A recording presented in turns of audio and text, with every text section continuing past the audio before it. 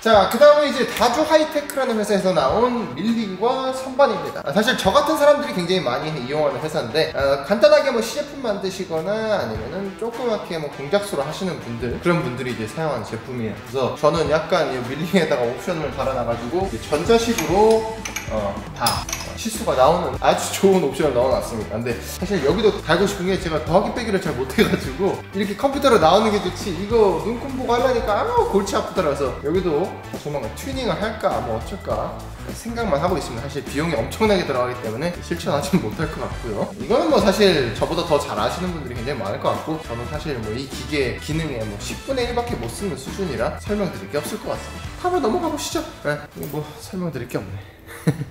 자, 그 다음에 이제 맞춤에 남은 뭡니까? 용접 아니겠어요? 굉장히 많은 분들이 사용하는 용접기가 뭐냐고 문의를 많이 주셨었습니다. 어, 제가 지금 사용하고 있는 용접기는 국가대표 용접기라고 적어놨는데 코리아나 용접기라는 회사에서 나온 용접기입니다. 그래서 저는 CO2 용접을 주로 하고 있고 이 CO2 용접의 장점이라 하면은 뭐 저처럼 실력이 미천한 사람들, 뭐 용접을 못하는 사람들도 굉장히 빠르게 용접을 익힐 수 있고 또 간편하게 용접을 할 수 있는 장점이 있습니다. 그 대신에 저 큼지막한 가스통을 달고 다녀야 된다는 아주 큰 단점이 있겠죠. 근데 저는 어차피 작업실 안에서 작업하기 때문에 CO2 용접을 선호하는 편이고요. 이 제품 코리아나 CO2 용접기 검색하면 다 나오는 제품인데 이 제품 정말 사용하기 좋고 이 용접을 할때 손맛이라는 게 있거든요. 이 CO2 용접은 특히나 와이어가 나가면서 모즈에 달라붙을 때 이야 쫀쫀하게 붙는 그런 용접기가 바로 이 용접기입니다. 그래서 제가 가장 오래 사용한 용접기이기도 하고 가장 오랫동안 고장이 안 난 용접기이기도 해서 지금까지 너무나 잘 쓰고 아주 만족하며 사용을 하고 있어요.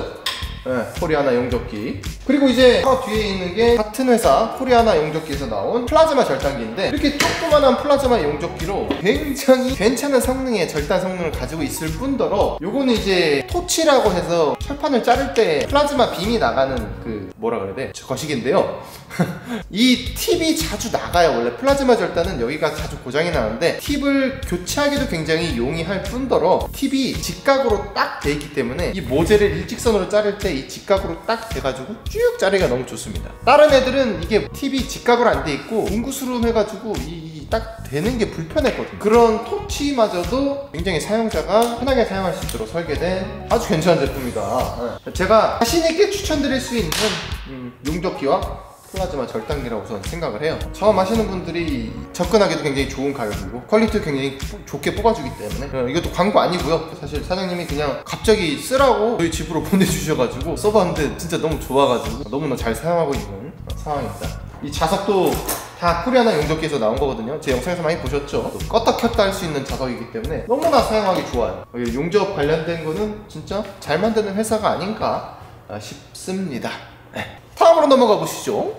자, 그 다음은 이제 사실 제 영상에선 거의 모습을 드러내진 않지만 뒤에서 묵묵히 일해주는 친구가 바로 이 친구입니다. 콤프레셔죠. 어, 사실 플라즈마 절단이나 뭐 후끼 칠 할 때 그리고 먼지 털어낼 때 뭐 이럴 때 항상 쓰는 게 콤프레셔에서 나오는 에어를 이용하는 건데 사실 이 티첩에서 나오는 콤프레셔들이 대부분 다 잘 만든 콤프레셔들이에요. 덩치들이 굉장히 작고 조용하고 유지 보수를 안 해도 된다는 점이 아주 얘네들의 특장점이겠죠. 그래서 이게 지금 5마력짜리인데 원래 5마력 콤프레셔는 진짜 에 이때만 내가 돌아갈 때 소리도 막 뭐 이런 소리가 나거든. 근데 얘네들은 그냥 조용하고 깔끔하고 그에 반해 에어 생산량은 진짜 일반 컴프레셔 5마력 그 이상 되기 때문에 어 아주 훌륭한 컴프레셔입니다 진짜. 실제로도. 보통 이제 컴프레셔 쓸 때 가장 에어를 많이 쓰는 게 이 에어건이거든요. 근데 이 녀석은 에어건을 꽂아가지고 바람을 쏴도 0.6 메가파스칼 이하로는 안 떨어져요. 그러니까 6바죠 6바 6바 이하로는 안 떨어져 그러니까 바람이 계속 엄청나게 센 바람으로 계속 나온다는 펌프가 돌아가면서 보통들은 에어가 떨어지기 마련인데 그 정도로 굉장히 준수한 에어 생산 능력을 가지고 있다라고 보시면 될 것 같습니다. 이것도 이제 JK 인터내셔널이라고 이 티차 브랜드를 총괄해서 수입하시는 사장님께서 아, 흔쾌히 그냥 제가 콤프 필요하다니까 바로 보내주셔가지고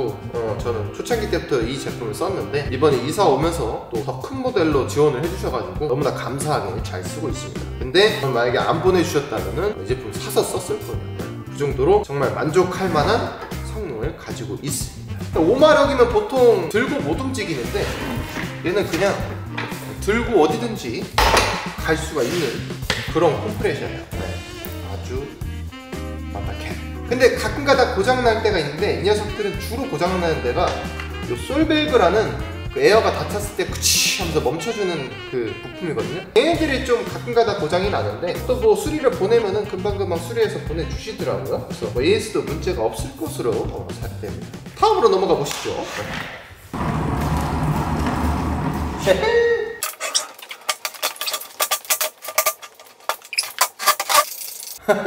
톱다이 설치 끝? 그렇습니다. 요거는 이제 제가 큰 맘 먹고 이번에 새로 구입한 슈나이더의 톱다이입니다. 뭐 사실 이것도 마찬가지로 톱다이계의 에르메스라고 보시면 돼요. 그냥 정말 최상의 모델이기 때문에 뭐 더 이상 이건 말이 설명이 필요할까 싶습니다. 아주 정밀한 조기대에다가 정말 정밀하게 사용할 수 있는 10인치 원형톱까지 달려있고 그리고 이 제품은 또 집진 성능이 정말 어마하게 좋기 때문에 실내에서 작업할 때도 먼지가 거의 안 날리는 뭐 그냥 끝판왕이라서 뭐 설명할 게 네. 앞으로 제가 목공도 많이 해볼 거기 때문에 이번에 좀 큰맘 먹고 구입을 했고요. 앞으로 다양한 목공 작품들도 많이 보여드리도록 하겠습니다. 어쨌든. 이런 것도 있습니다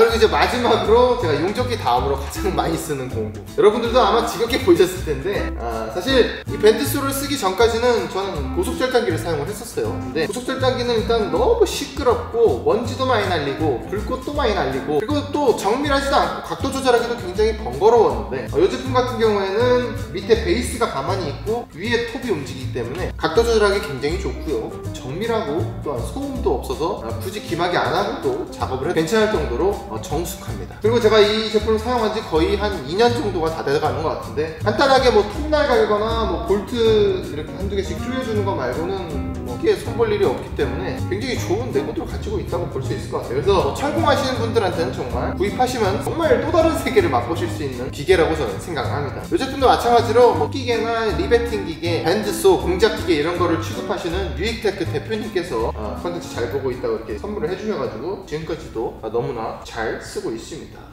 자 이렇게 해서 마초맨이 사용 중인 공구와 의류에 대해서 간단하게 여러분께 좀 소개를 시켜드렸는데 아, 사실 진행하다 보니까 뭔가 좀 광고 같은 느낌이 들긴 하는데 진짜 여러분들 광고 아니고요. 아, 물론 협찬받은 제품들이 있긴 한데 저 제품들 모두 제가 너무나 잘 사용하고 있고 대표님들도 어, 저에게 뭐 어떤 대가를 원하고 제품을 보내주신 게 아니라 그냥 제품만 어, 잘 써달라라는 의미에서 보내주신 거라 저도 너무 좋은 마음에 여러분들께 살짝 소개시켜드려 봤습니다 에, 이렇게 해서 제품 소개 컨텐츠를 마치고 뭐 앞으로 여러분들이 또 궁금한 거 있으면은 댓글로 달아주시면 제가 또 기억해놨다가 뭐 이런 컨텐츠로 준비해드리도록 하겠습니다. 그럼 저는 이 공구들로 또 멋있는 거 만들어 보도록 하겠습니다. 시청해서 감사하고 그럼 저는 다음에 진짜 뭔가 만드는 컨텐츠로 돌아오도록 하겠습니다. 아, 요즘 너무 놀았어, 그죠? 어.